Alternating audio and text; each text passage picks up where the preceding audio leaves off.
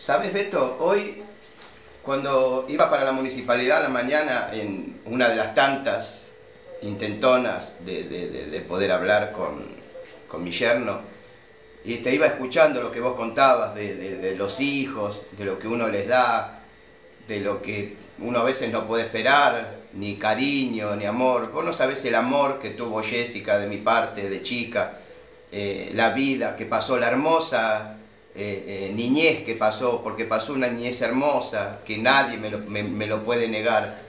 Y que hoy me esté negando así, es, es algo que no se puede creer.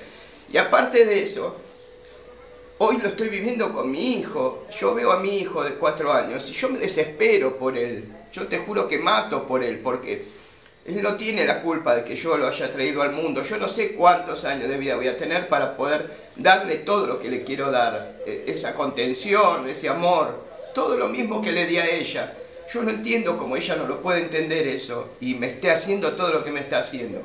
Te lo juro que hoy mientras te escuchaba en, la radio se me caían las lágrimas, quise mandarte un mensaje, pero ya es como que se hizo un poquito tarde porque después empezó el horario de la logia y bueno, y fui a la municipalidad, igual me dijeron que no, que no me iban a tener. Hoy, hoy, hoy me dijeron ya que no. Otra vez me decían que sí, que por ahí, que mañana, que está enfermo el padre, que esto, que lo Hoy ya directamente me llamaron por teléfono y me dijeron, no, la reunión no va a poder ser. Listo, si la reunión no va a poder ser, ahí me voy a quedar. Alguien me va a atender, a mí me tienen que dar una respuesta. Chao, Beto, gracias.